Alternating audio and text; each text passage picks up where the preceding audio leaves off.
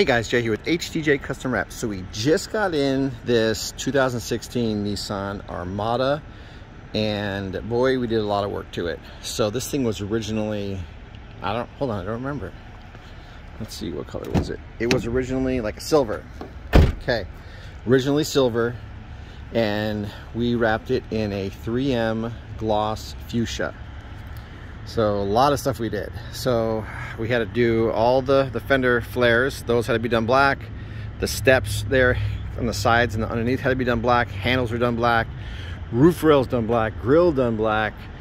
Um, piece in the back done black. A lot of, a lot of stuff had to be done black. Came out really good. Uh, we actually customer provided this decal. So she got it in. We installed it um, these had to go black. Um, the front area down here had to go black. The bad thing about these areas here and in here is that it's molded in and a lot of times the paint chips from there. So we had to use a ton of adhesive promoter and do a little inlays to get it to stick right, but it did come out super good. We actually even did the Nissan logo black. Mirrors went black, uh, same color as the car came out really good. This is a huge transformation to what it was. I have a TikTok of the video before and after if you want to look it up. It is at HDJ Wraps.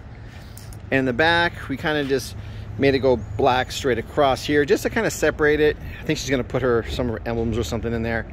That right down there had to be done black. The roof was massive. The roof was eight and a half feet long. Sucked to do. It really did. But again, came out really good. I'm really happy with it. She's here. She's ready to go. Um, if you haven't done so, please like, subscribe, turn on notifications, hit that like button, leave me a comment, tell me what a great job I did, and let me know when I can do your car, and we'll do something crazy on that. Stay safe, you guys. See you in the next wrap. Peace.